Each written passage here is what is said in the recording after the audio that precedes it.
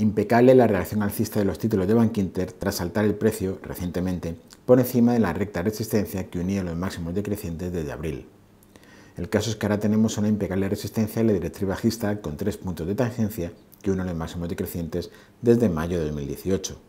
lo que quiere decir que no sería nada extraño que se iniciara una corrección de corto plazo hacia niveles de soporte cercanos a los 6, 6,05 euros, que es la cresta del impulso alcista previo. Pero hemos de saber que si tras una corrección de niveles o fase de reacción el título fuera capaz de saltar por encima de la resistencia de los 6,50 con holgura, tendríamos una prometedora figura de vuelta en cabeza y hombros invertido en términos de medio plazo, lo que le terminaría llevando hacia niveles cercanos a los 8 euros.